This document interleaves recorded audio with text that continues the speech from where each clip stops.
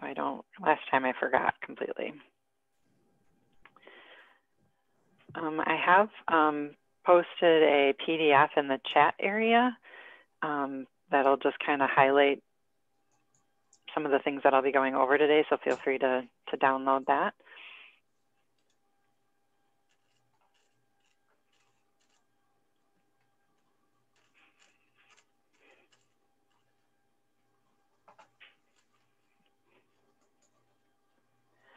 Did anybody go to the birds of a feather stuff? Has that already gone on? Yep, it did. Cool? Was that cool? Yeah, it was just a really informal. There, I think there were about six or seven of us on it. That's all. Well, but we cool. just talked about what we're doing for fitness. What are we doing to stay in shape?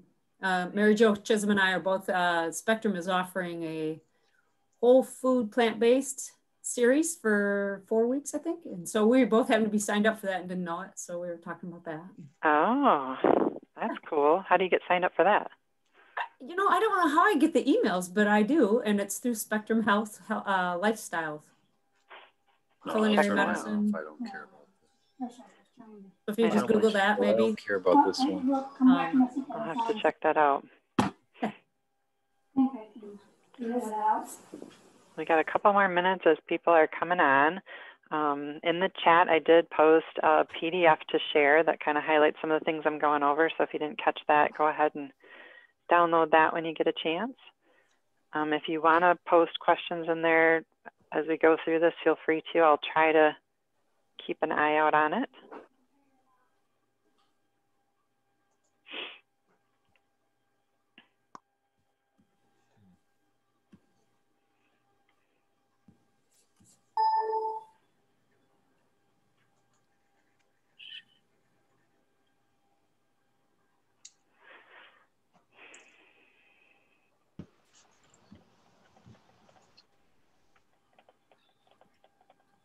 Rachel, did you say your attachments in the chat? Should be. I don't see anything in chat. Yeah, I, I don't see it yet either.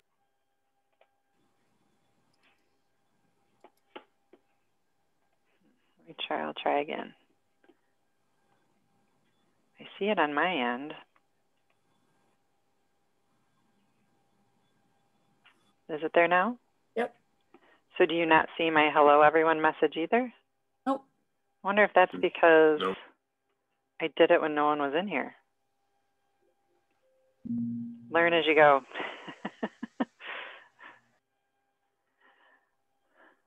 All right. Well, it is one o'clock. I'll go ahead and, and get started and people can come and go as they please.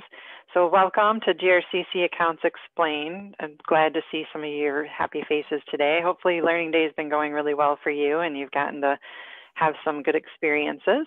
Um, I will um, be um, trying to monitor the chat as best as I can. Sometimes it's a little awkward um, when you're going through your um, presentation and watching something to the side. So feel free to also interject as I'm talking. If you have questions about anything that I'm saying, I really don't mind if you pop in and say, hey, I got a question about that. So, you know, feel free to, to do that if you like. I am going to move you guys over here and I'm going to share my screen.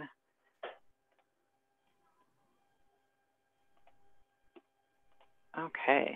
Can you guys see my screen? Should say GRCC accounts explained. Yes. yes All right, yes. perfect. Just kind of get situated here. All right, I think I can actually see everybody.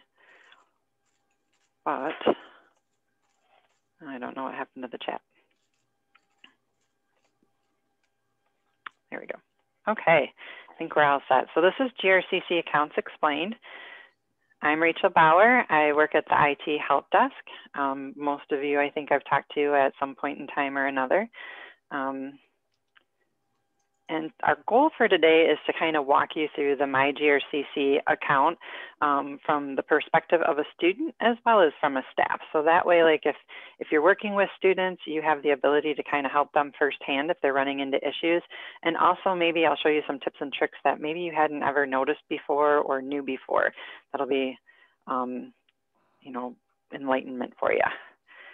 Um, so some topics that we're going to cover is the MyGRCC um, online center, student email, staff email, Blackboard, campus printing, campus Wi-Fi, storage drives, software center, VMware, Google Drive, the IT support portal, and Office 365. So hopefully when you looked at um, the description for the class today that maybe some of the stuff was things you thought about, or maybe there's some things on here that you hadn't ever thought about. And so um, we'll explore all of it though. And like, as I said, if you have questions as I'm talking, please feel free to just pop up, especially if I don't catch a chat that's in the, in the message area. Um, the MyGRCC portal is a new single sign-on application that we just instituted like in October. Um, so it's a it's a single sign-on source. So you the object of it is that you sign into that, and then you have access to all of your accounts without having to keep continually sign into everything throughout your day. Um, so for students right now, um, they kind of just see the online center and Blackboard and the G Suite. Um, but for us, we're, we're continually adding more things for staff and faculty. So as we keep making the system more robust, you'll see more features added to that as we go along.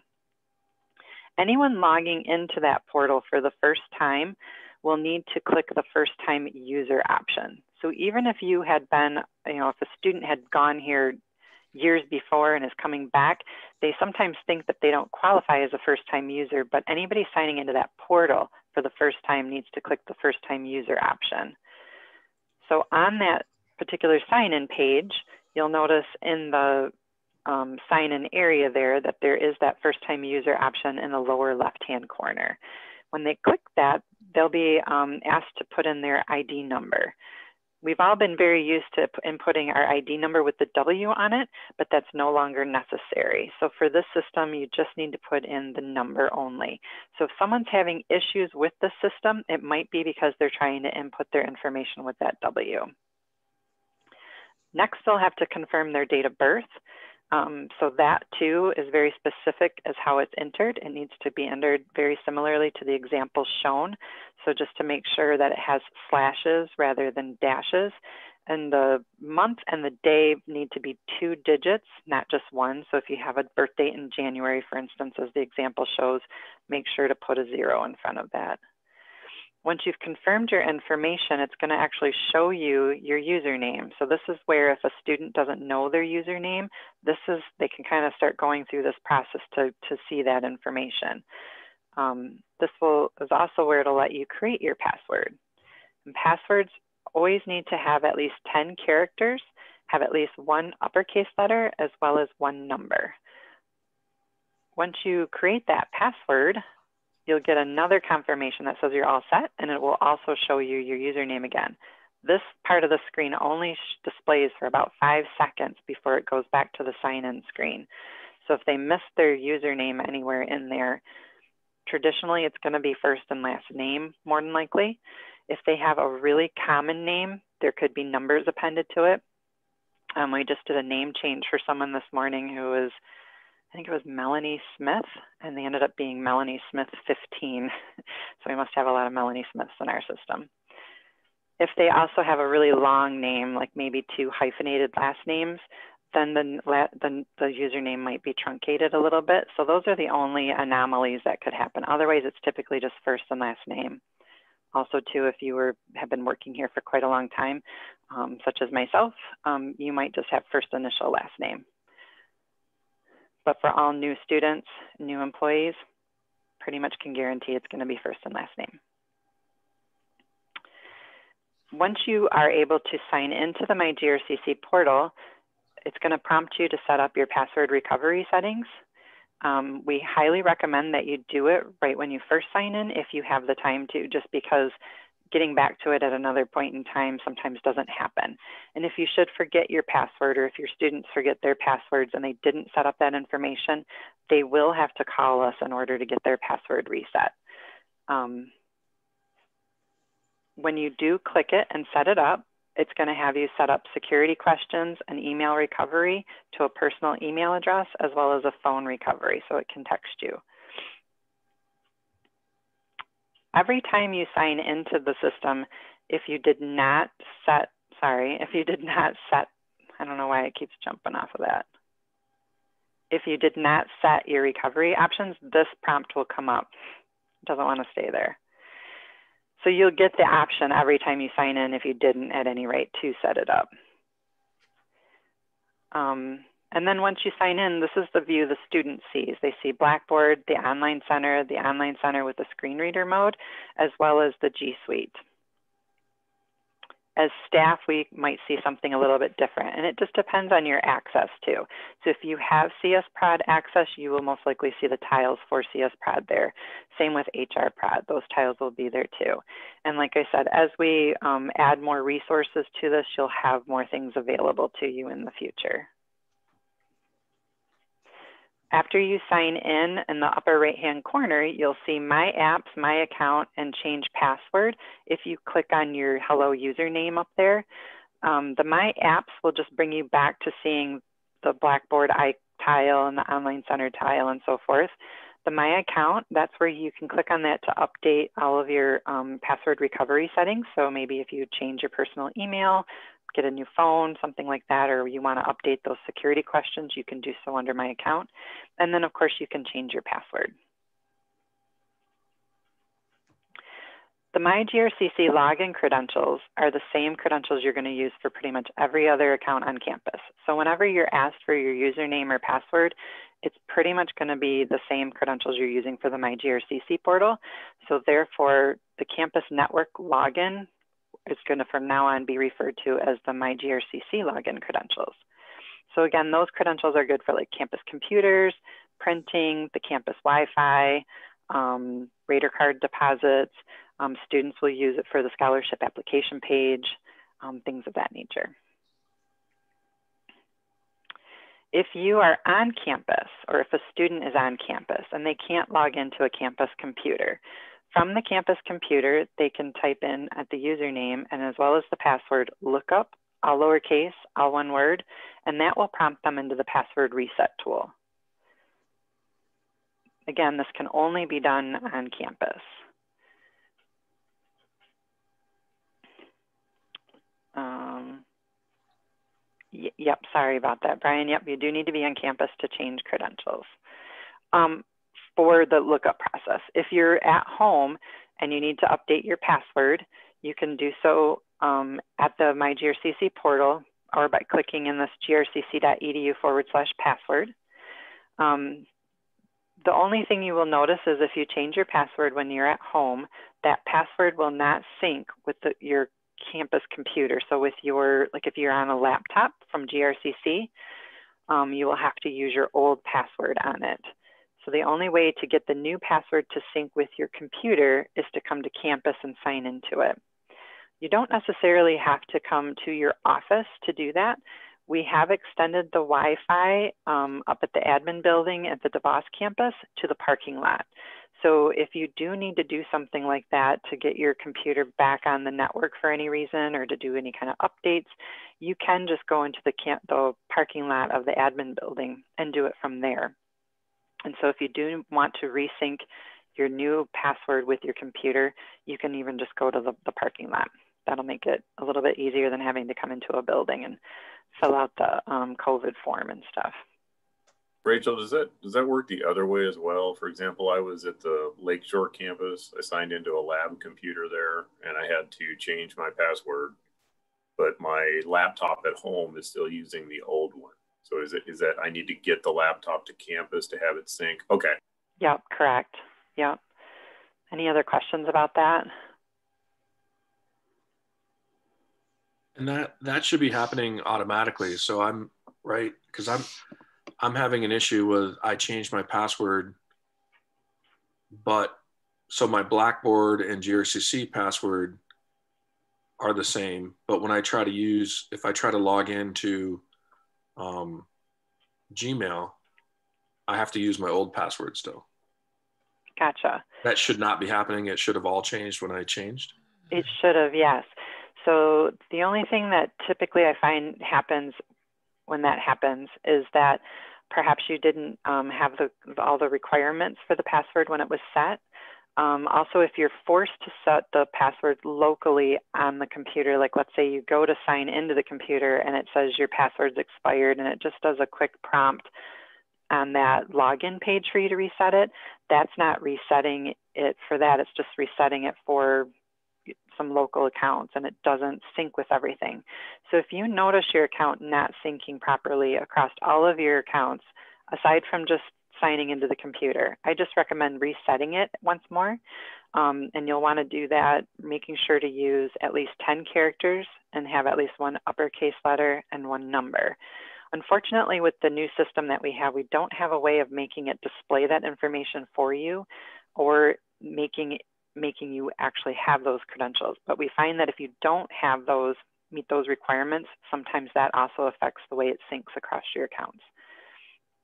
So if you need to go back in and reset your password and you're having any issues with that, feel free to give us a call because we can certainly help you sort Okay. that out and make it go correctly for you. Any other questions about syncing, syncing your password? Or changing your password while off campus? Our passwords do expire every 120 days, so it's pretty much every semester we're supposed to be changing them. So hopefully most of us by now have done that since working from home. I'm sure we've kind of been forced to. Um, so, but if you ever run into problems with it, please don't hesitate to give us a call because we're, we're more than happy to walk you through anything. Um, so the one of the um, apps that's in the My GRCC portal is the Online Center. Hey, Rachel. Um, yeah, Sorry, before you move off of the, the GRCC, the single sign on, sure. um, what causes that to, I'll use the term timeout, for example, or to not, for example, I'll, I'll pull up a browser, I'll open a window, I'll do the login there, and then uh, I'll open another window in that same browser and go to Blackboard, but I'll have to log in again. Uh, or I'll come back to the sign in page and it has disappeared, timed out, and then I have to log into everything again. Is that, am I doing something wrong with the single sign on? I think there's about a half hour um, timeout of inactivity. So if there isn't any activity going on within the portal, just for security purposes, it does time out and require reauthentication. But when I go to another window in the same browser, I should not have to log into another app, right? I, I should be like if I did the online center in one window, tab, I should say, a tab, and then I go to another tab and I, I go to Blackboard. That that should just let me into Blackboard, right? I think if you're going to Blackboard via like the Blackboard like link, like that old bb.grcc.edu, it's it needs to kind of go back through the portal. So what it does is I think it tries to re-authenticate you through the portal. If you're clicking on the tile from the portal, then you probably won't see that issue occurring. But if you're going to another tab and then trying to go to a link for Blackboard, it's trying to go back through the portal because everything's kind of directed through that. But if so, maybe next time just try to click on Blackboard from the actual um, app page itself. So the key that is to key is to launch those things from that landing page. Yeah. Yeah. Oh, okay. All right, Otherwise, thanks. it just kind of re- does a redirect. So all of the former web pages that we had for those are basically doing a redirect back through the portal. So I think that's why you're seeing that. that, Those that web sounds pages, right. those web pages are still valid and still work. They just are doing a redirect, basically. Okay, thanks. Yeah, no problem. Does that make sense for everybody? All right, cool. So the Online Center for um, students is the place where they register for classes, they check their financial aid, um, they um, pay their tuition. Um, it's a lifetime account because that's where they also get their transcripts from. So everybody will have their access to their Online Center forever. Staff and faculty can use it for the same purposes as students do, especially if they're obviously taking classes. But then as staff, we also can um, do our payroll information through there, um, check our um, training history, um, things like that. And then faculty will use it to post the grades for students and do their attendance checks and things like that for them. Um, HR wants to make sure that we know that that's where we can update our um, contact info, our emergency contact information too. So please make sure that any of your emergency contact information is updated in the online center. And then student email is a their primary source of communication um, that we can have with our students is through as there's through their student email account. Um, if you can, if you're working with any students, try to make note to them that their student email should only be used for GRCC purposes and not for personal um, email because once they are done going to school at GRCC, that account will deactivate. So they will no longer have access to their emails um, later. So we have gotten calls from students before who have definitely used it for personal purposes, and then they can't access their the things that they had in there that they might need. Um, the only way that they can get access to it again is if they re-enroll. So the student email account varies from ours just by having that word email in it. So it's their username and then at email.grcc.edu. So some typical troubleshooting with the email is like students, a lot of times, brand new students, sometimes they'll be here for a whole semester or two and don't even realize that they have an email account. Um, so please, if you make sure to let your students know that that's the way you're going to be communicating with them and that they do in fact have one.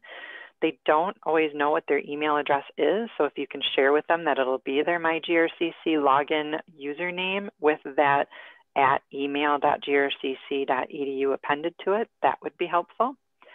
If you reset your password, and this is true for faculty and staff as well, if you reset your password, it's going to take anywhere from 5 to 15 minutes for your new password to sync with your email account. You should be able to log into the MyGRCC portal and have access to Blackboard and the online center and your computer immediately, but um, Gmail just takes us a little bit longer for that password to sync. And so that's the same with students too. So if a student comes to you and says for whatever reason that they can't sign into their email, ask them if they just recently reset their password. Um, you might have also noticed when we switched over to Gmail that if you had a personal Gmail account and you clicked on like the email link on our homepage or something that it automatically logged you into your personal account. And that's because Google's really smart and knows that that's the main account you've been accessing on your personal device or on your work computer. So what users need to do is from within their personal account, they need to click on the profile icon in the upper right hand corner. And then you'll see an option that says add another account. And then you just type in your, your school email address and your password. And then that account will now be there. They won't mix the two accounts together, but you can toggle between the two. And that's what students will need to do as well. And so that's now our primary source of communication for us as well. Um, you should have a link for Gmail on your um, laptops, your GRCC issued computers, or you can go to gmail.com or mail.grcc.edu. There are some file size restrictions for anything that you're trying to share via email. Um, 25 megabytes is about the file size capacity that we have. If you try to send anything larger than that, it's going to create a link to your Google Drive and send the link instead, um, which works pretty well. If you have files that you need to send that are larger and also you need them to be sent securely, either within GRCC or to an outside entity of GRCC, you can use a resource that we have called FileLocker. If you do need to use that resource, we'll need you to submit a request to us so that we can grant you access to it. But FileLocker is, is a secure way of sending large files that we offer. Um, so people in the dental clinic, for instance, use this to send like dental records securely to an outside source, you know, an, an outside um, dental area that they might be sharing records with. So that's like a, a for instance of how that's used. Hopefully most of you know about Archive. Um, before when we had GroupWise as our email platform, um, all of our emails, anything sent and anything received within a 24 hour period were archived in what we call Retain. Um, so that is something that would um, house all of our emails for a period of about three years. So we'll still have access to this for a few more years yet. So if there is anything in GroupWise that you didn't you know, get out of there that you needed, you still have the ability to go into Retain um, and get any of those archived emails. And so that is at archive.grcc.edu. Um, you use your My GRCC login credentials for that. It's a little bit kind of cumbersome to navigate sometimes and find emails. So if you do need to um, do that and you're having trouble with it, just give us a call and we're happy to walk you through that as well. Blackboard is our learning management system on campus, and it just went through a major upgrade that finished last night. So hopefully if you're a Blackboard user, you've had time to check out the new Blackboard today. Um, if you need um, training on that or, or more instruction on it, we encourage you to reach out to Distance Learning and Instructional Technologies or the Center for Teaching of Excellence. Um, even on their website, they do have quite a, a bit of helpful information. I should also mention that their um, Blackboard itself has a web page. It's help.blackboard.com, and they have a, a lot of great information on that as well. And so this is what the new Blackboard page kind of looks like. Just a bit of a different header for the most part. Um, printing on a on campus um, I'm sure most of you are, are, aware how this works, but just in case, um, they have the follow me printers on campus basically. So if you can print from your office, you choose the uh, either the black or the gray or the color printer, and then you can go anywhere on campus and swipe your, your Raider card, and now your print job will appear at that particular printer. Um, the nice thing about that is that you're, you don't ever have to worry about your print job getting combined with anybody else's. Um, it just will print whenever you are ready for it to print, and it finds you anywhere across campus. Um, you'll get a print notification dialog box when you do print, um, and it'll have a different radial buttons for charging options. And you always want to make sure that you're charging to a shared account, and you should have an account displayed on your print dialog box that shows your departmental account on there. If it's on the charge to my personal account, if you have money on your Raider card, funds will be deducted when you go to print. Um, if you don't have any money on your Raider card when you go to the printer, it'll tell you that there were no funds available, and that just should alert you that you need to switch back to your shared account for printing. yeah? Thought I heard somebody, sorry. Sorry, I did ask you a question. How oh. long does a um, how long does it stay in the queue for printing if you don't go and print right away? I want to say it's eight hours. I think it's eight up to eight hours. Okay, thanks. But two hours is also sticking in my brain for something. There's so many different time frames that are up here for different things. Anywhere from two days, that's a big time frame, but um, that should hopefully, even two hours, I would hope would give you enough time to get to the printer and get what you needed. But it could be eight. Um, but if you're on campus and you need to print from a personal computer, this would be for your students, and this would also be for any adjunct faculty who do not get computers issued to them. Um, here are instructions for how to print this link that's on here, um, which I believe also the instructions are included in that handout. Um, but these there's new instructions for how to print from your personal computer while on campus. So previously we used to use Google Cloud Print, but Google ended that service as of the end of December. And so now we are using Papercut Mobility. I have not personally had an experience with this yet because we just started it and I have not been back to campus yet. Um, but obviously, if you have any questions at all, if you're using that service when you're on campus, feel free to give us a call and we will help you through it. Um, but again, that's going to be through Papercut Mobility, and there's a, a really good extensive um, knowledge-based article on our portal too that gives you the detailed instructions. That's what this link is through. Print through yeah. your cell phone? What's that? Can I print through my cell phone?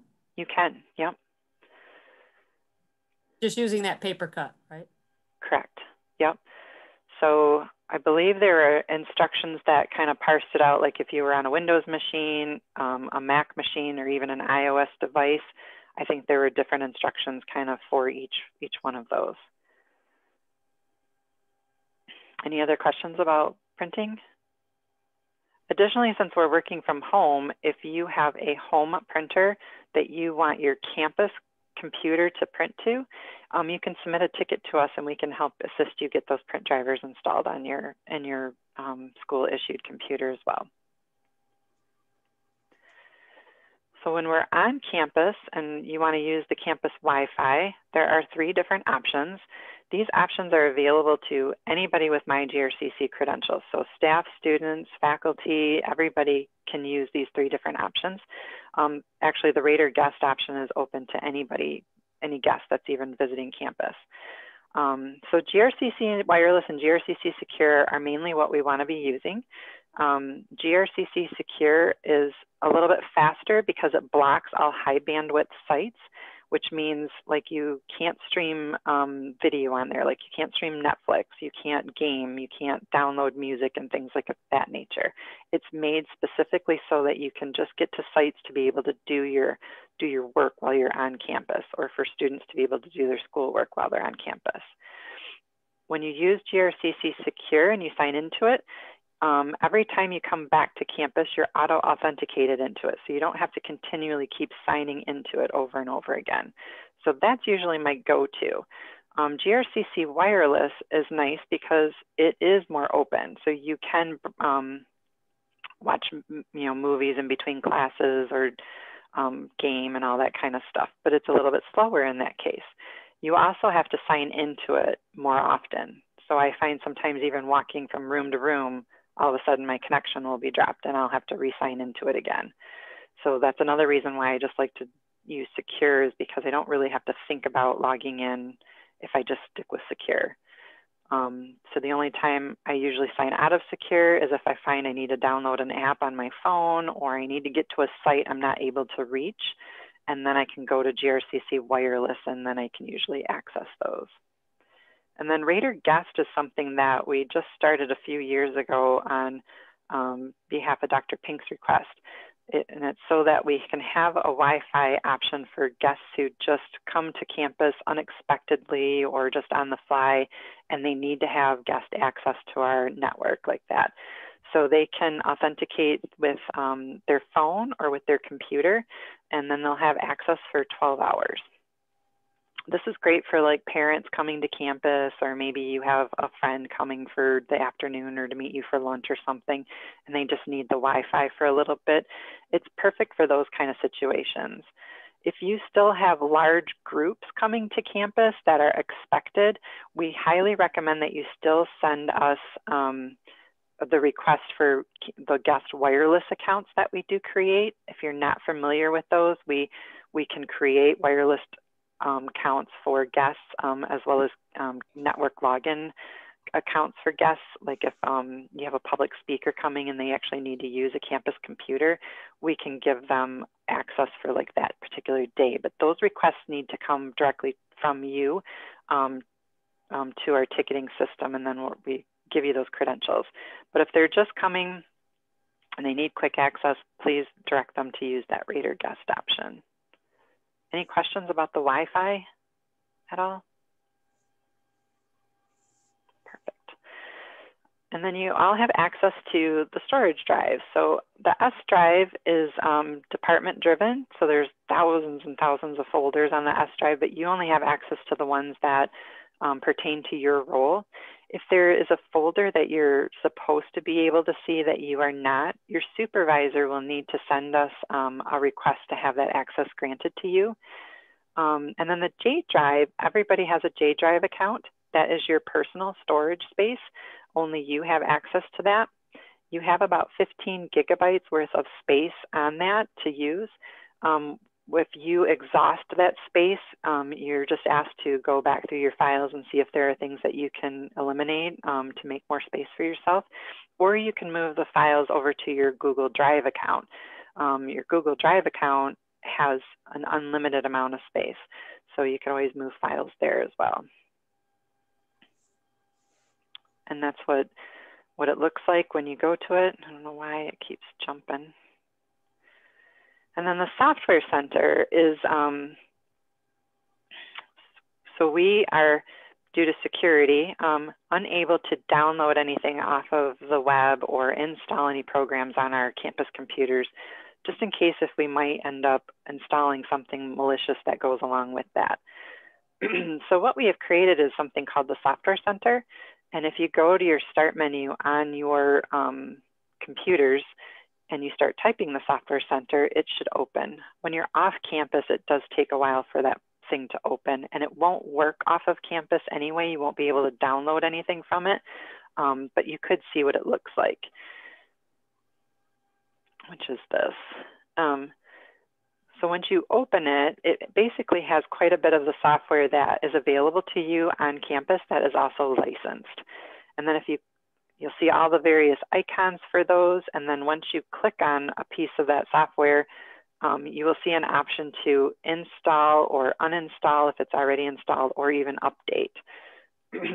so if there's programs there that you see that maybe you don't have on your computer but you would like, because there's also like a description of what that particular program is for, then you could, if you go to campus, you could have that program installed. There are a few of them on here that we can install remotely for you. So check with us first before you make the trip to campus to see if it's something that we can install remotely for you, or if you will need to do it through um, the software center while on campus.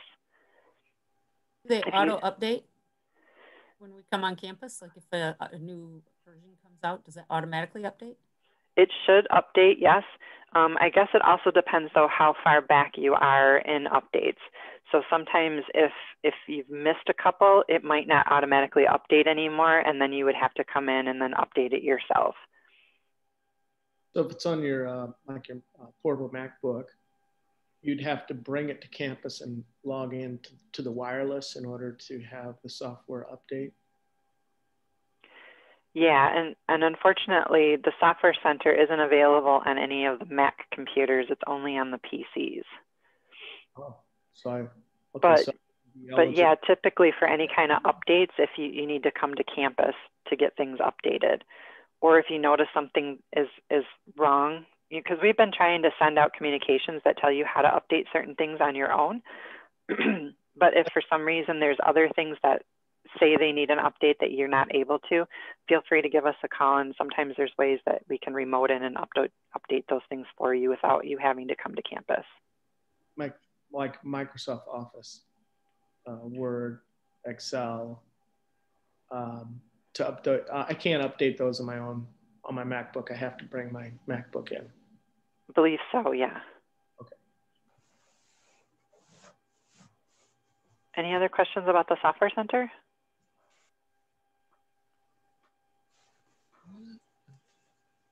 Okay. So, no, I, I, I do have a question. So the uh, software that's listed in the software center, that is the full selection of software that could be installed in our computers, what, what you're showing right now. Nothing Mine, else. mine will be a little bit different than everybody else's just because I, I have the things available to me for testing purposes and that. So you might not see everything that I see. Um, same thing with like um, lab computers won't have everything on them that you would see.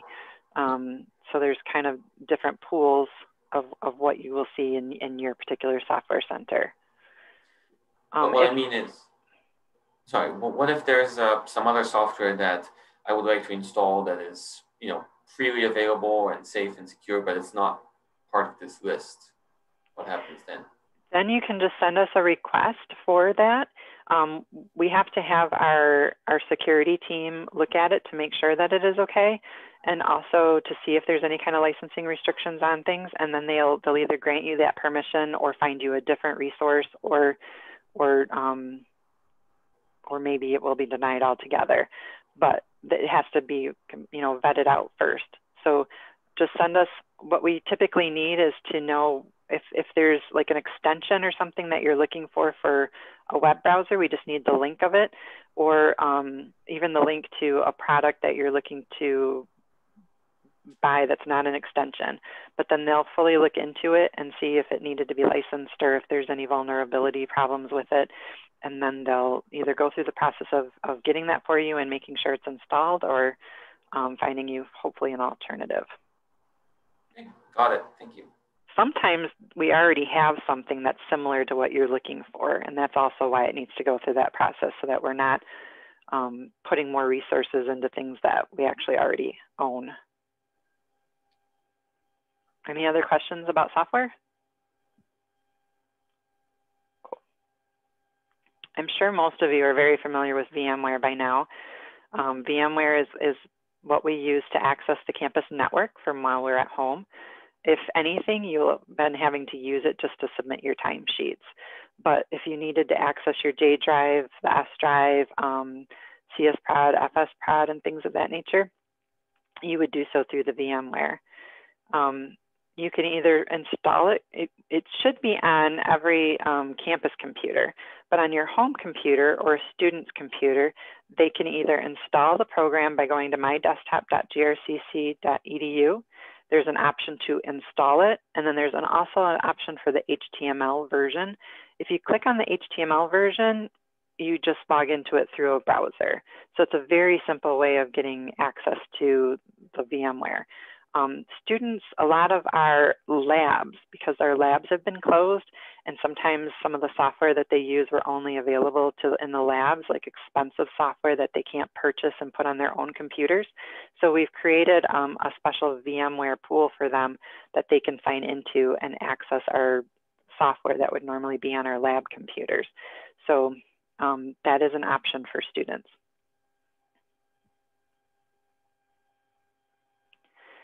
Google Drive, I kind of mentioned a little bit earlier.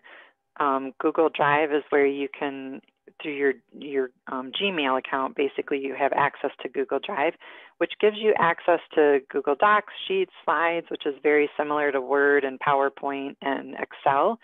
Um, it, it's available to you wherever you have internet access. You can share files. You can simultaneously be working on files as someone else's. Um, I absolutely love it and use it all the time. Um, you also have a team drive in there that's available to your department. Um, so you can um, share files departmentally. Usually that drive was created and under like the department head or the head of that particular department, and then they would um, grant permissions to it um, as people, you know, were either hired or um, at the time they should have just added everybody in their department. Um, but it works very similar to like, to like the S drive to where you can just have all your departmental files on there that you're sharing. Um, we just ask that you don't keep any student personal information in there. So like um, we wouldn't want any files in there with a bunch of um, student ID numbers or social security numbers or anything like that on there.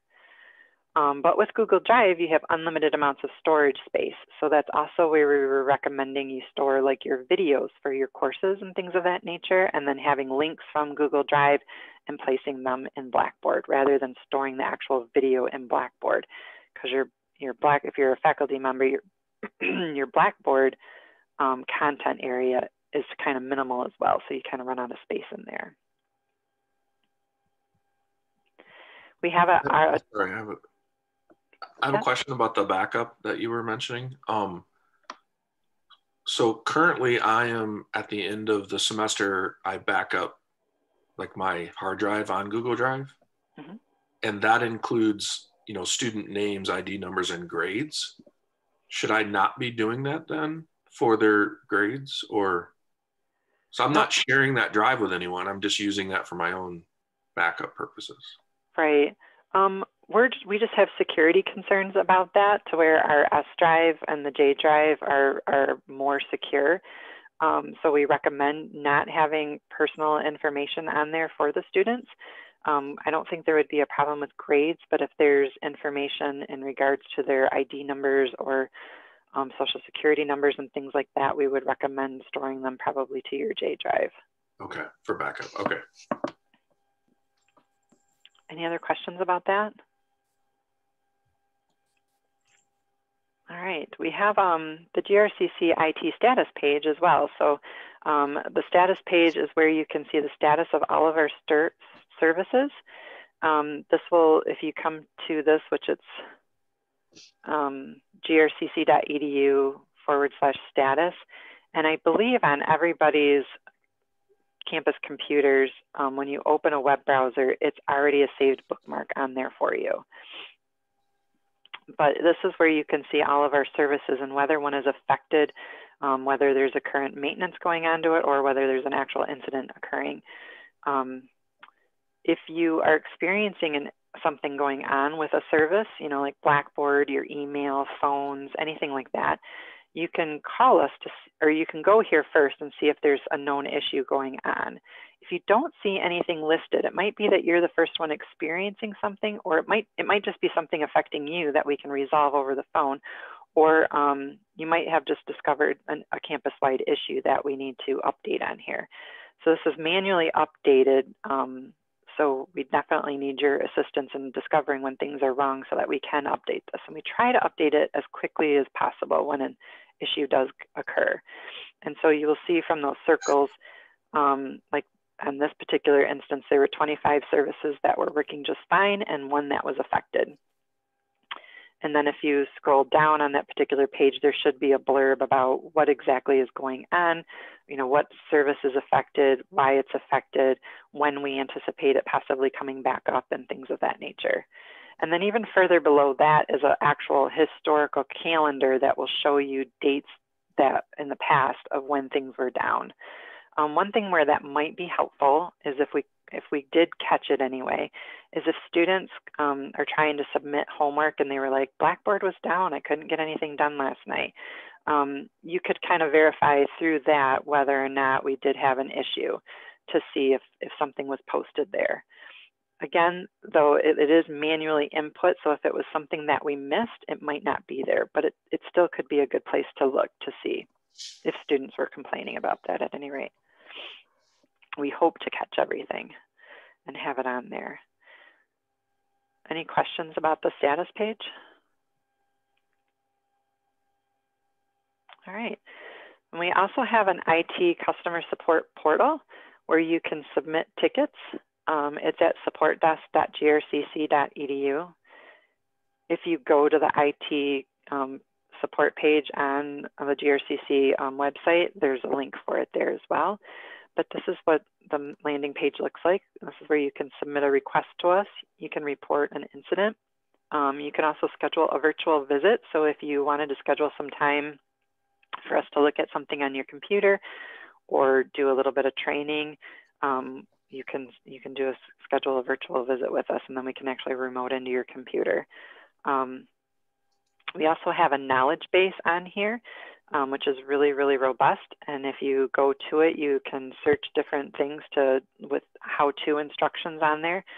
So for instance, the instructions for how to print to a personal device, you could find on there um, how to install the VMware. Um, maybe you don't know how to retrieve your voicemail messages. There's detailed instructions on that. So you would just um, from our search menu on our customer support portal, just put in voicemail, and then you would get all the different knowledge bases uh, in regards to voicemail. Um, so it's, it's a really helpful area to look up information or to submit requests from us. Another nice thing about submitting requests with us through this portal is um, it will guide you to answer questions for us um, depending on what your request is.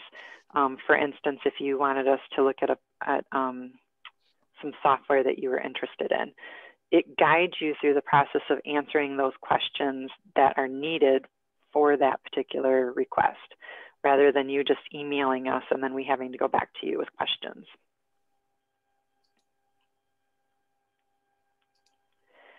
Microsoft Office 365 is a suite of applications that um, we have available to us for free and students as well.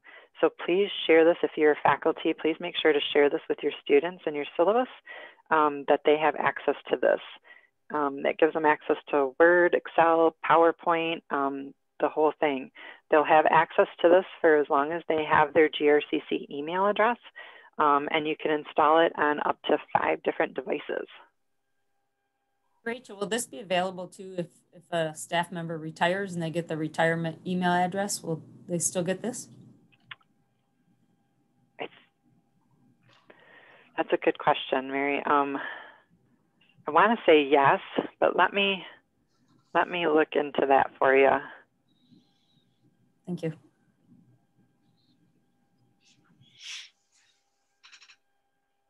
Okay. Um, so again, this is a, a helpful link um, for the instructions for how to install that on your computer, which is also available um, in that PDF that I shared with you, as well as on our portal.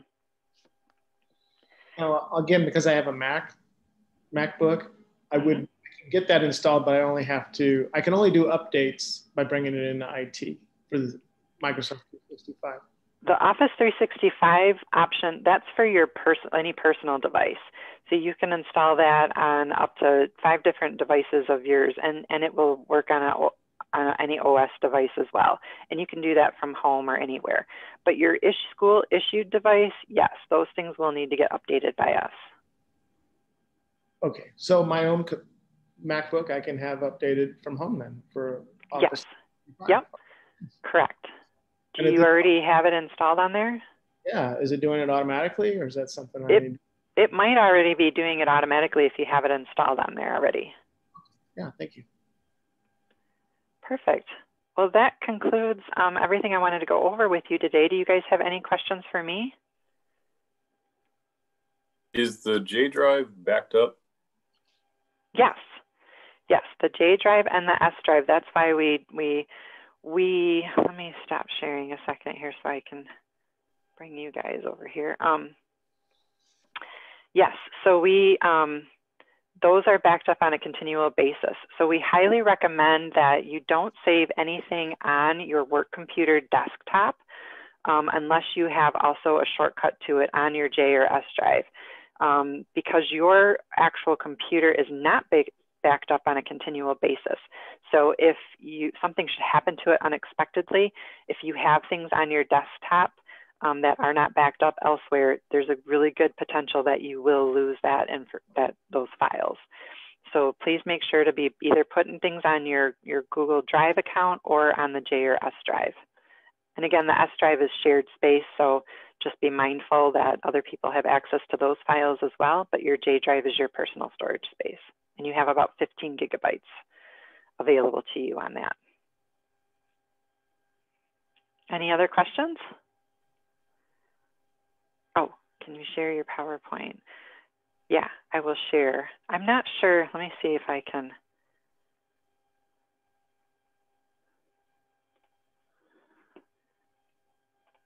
do a quick screenshot of who all is here because then I can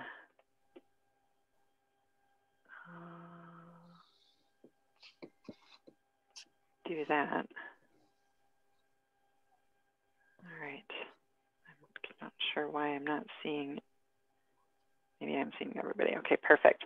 So I will try to, to share the PowerPoint with you guys as well. Is there any other questions? Rachel, yeah, Rachel, can you hear me okay? Yeah. Hey, quick question. The J drive, maybe I, maybe it's just me, but I want to make sure when I go to my documents, is that into the J drive or? It is not. So okay. um, you're like, I don't know if you're in a VMware environment right now. So you would need to be in VMware in order to get to your J drive. Um, okay. the, the documents folder that's on your computer, that's just locally on the computer. And again, any of those files you will want to make sure are stored elsewhere in case of something happens to your computer. And I'll show you real quick here again. Let me. So I just got a new computer not too long ago, and when they up switched things over, most of my files that were in my my documents came over. Is that because the other computer was still working? Possibly, yeah. And they try to do a backup oh. of everything for you. Okay. Um, so if you click on this PC, when you're in, you'd have to be in VMware though, because from home you won't be able to see it. And so mine aren't connected right at the very moment because I restarted my computer earlier. Um, yep. but you see, there's my J drive, and here's my um, S drive. S drive, yeah. Okay. Any so other questions? Pardon? That's, that's that's so I'd sign into the VMware first, and then I can get to it. Correct. Yep. All yep. right. Thank you. And do you are you familiar with how to sign into VMware? I have done it before. I think I can figure that out. I just I just assume it was automatically connected, sharing it there to the right place. So um, I'll get that my stuff moved over. All right, perfect. Thank you. You're welcome. All right. Well, wonderful. Well, if you guys have any questions at all, feel free to email me at any time or give us a call. We're always happy to help. You know, we do have evening and weekend phone hours. Um, we also have a chat feature on our website, so you can communicate with us via that as well. Um, and we're just always happy to help out in any way that we can. Thanks, Rachel. You're welcome. I hope you guys have a great rest of your afternoon. Enjoy the rest of Learning Day. Bye now.